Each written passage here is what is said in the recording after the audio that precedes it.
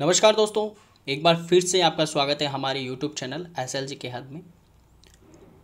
दोस्तों, आज का दौर है जो कि कोरोना का दौर चल रहा है और इसके अंदर कई सारे देश है जो कि इससे प्रभावित हो रहे हैं।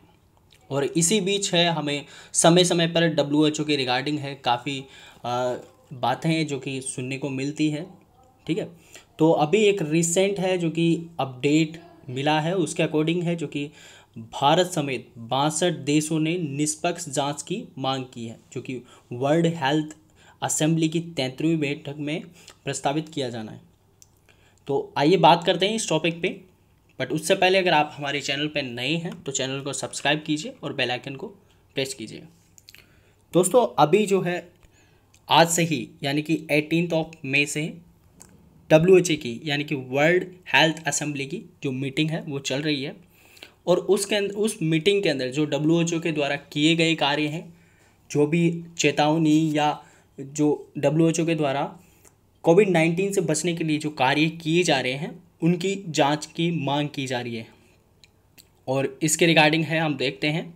प्रस्ताव में कहा गया है कि कोरोना रोकने के लिए डब्ल्यू के कामों को और इसके दिए गए सीमा की जाँच की जानी चाहिए।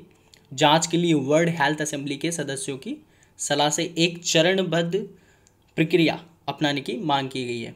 और ये जो है, एक ही देश की नहीं, बल्कि काफ़ी सारे देशों की एक साथ मांग की गई है, जो कि डब्ल्यू की बैठक के अंदर बात हुई है इसकी। चलिए बात करते हैं। ऑस्ट्रेलिया और यूरोपियन यूनियन, कोरोना ने महामारी पर विश्व स्वास्थ्य संगठन, यानी कि डब्ल्यूएचओ के जवाब की निष्पक्ष जाँच की मांग कर रहा है। और साथ ही भारत समेत बासठ देश इस बात का समर्थन कर रहे हैं कि इस चीज़ की जाँच होनी चाहिए कि जो डब्ल्यू एच ओ के द्वारा किए गए कार्य हैं, जो डिसीज़न लिए गए हैं, वो क्या सही डिसीज़न थे या इनकी कुछ समय समय पर जो है इन इनको जो है अपग्रेड किया गया है, ये जो भी रिपोर्ट दी जा रही है, उसके बारे में जो है बात की गई है। वर्ल्ड हेल्थ असेंबली की तैंतरवीं जो बैठक है, इस, इसके अंदर जुड़ा हुआ एक प्रस्ताव रखा जाएगा। यह बैठक आज से शुरू होगी। प्रस्ताव में कोरोना को रोकने के लिए किए गए डब्ल्यू के कामों को और इसके लिए तय की गई समय सीमा की भी जाँच की मांग करने की बात की गई है। प्रस्ताव में कहा गया है कि जाँच में सदस्य देशों को शामिल किया जाए। इन देशों की सलाह से जाँच के लिए मौजूद प्रणाली के साथ एक चरणबद्ध प्रक्रिया अपनाई जानी चाहिए। महामारी से निपटने के लिए अंतर्राष्ट्रीय स्तर पर किए गए कामों से क्या अनुभव हासिल हुए, इसकी समीक्षा की भी जाँच की जानी चाहिए। वर्ल्ड हेल्थ असेंबली डब्ल्यू का ही एक हिस्सा है। चलिए बात करते हैं कि किन किन देशों ने इस प्रस्ताव का समर्थन किया है। तो इसके अंदर है यूरोपियन यूनियन के समर्थन के साथ पेश किए गए जाँच प्रस्तावों का समर्थन जो करने वाले देश हैं, वो है जापान है, ब्रिटेन, न्यूजीलैंड, दक्षिण कोरिया, ब्राज़ील, कनाडा शामिल है। वर्ल्ड हेल्थ असेंबली की बैठक इस बार कोरोना को देखते हुए वीडियो कॉन्फ्रेंसिंग के ज़रिए की जाएगी। भारत की ओर से इसमें जो हमारे केंद्रीय स्वास्थ्य मंत्री हैं, डॉक्टर हर्षवर्धन भी शामिल होंगे। इस बैठक के दो दिन बाद, यानी कि 22 मई को डब्ल्यू के एग्जीक्यूटिव बोर्ड की भी बैठक होगी और इसके अंदर भारत को डब्ल्यू के फैसले पर निर्णय लेने का, निर्णय लेने वाले बोर्ड का प्रमुख बनाया जाएगा। चलिए आगे बात करते हैं कि इसके अंदर जो जाँच की मांग करने वाला सबसे पहला देश है वो कौन है? तो ऑस्ट्रेलिया इस जाँच की मांग करने वाला सबसे पहला देश है।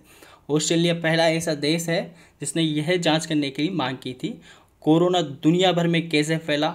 ऑस्ट्रेलिया के विदेश मंत्री मन, आ, मेरिन पेन ने पिछले महीने ही ये सवाल भी उठाया था और उन्होंने कहा था कि महामारी के फैलने की जाँच से अंतर्राष्ट्रीय स्तर पर अगली महामारी को बेहतर ढंग से रोकने और अपने लोगों को सुरक्षित रखने में कैसे हमें मदद मिलेगी? मुझे लगता है कि डब्ल्यू को कोरोना फैलने की जाँच की इजाज़त शिकारी को शिकार की रखवाली सौंपने जैसा है। तो इस तरह का जो स्टेटमेंट है, जो कि ऑस्ट्रेलिया के विदेश मंत्री मेरिन पेन ने कहा था और इसी के बारे में डब्ल्यू के सामने ये सवाल भी उठाया गया था। तो दोस्तों, ये था आज का वीडियो जिसके अंदर हमने जाना कि डब्ल्यू एच ओ की बैठ डब्ल्यू की बैठक के अंदर है, जो कि डब्ल्यू एच ओ के द्वारा लिए गए डिसीजंस हैं, उनके बारे में चर्चा की गई है।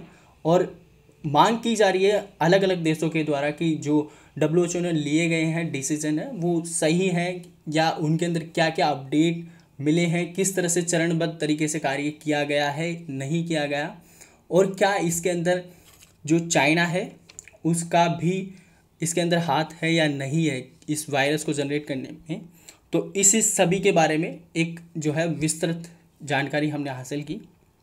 और जो इसका संपूर्ण फैसला जो कि 22 मई तक हमें देखने को मिल सकता है।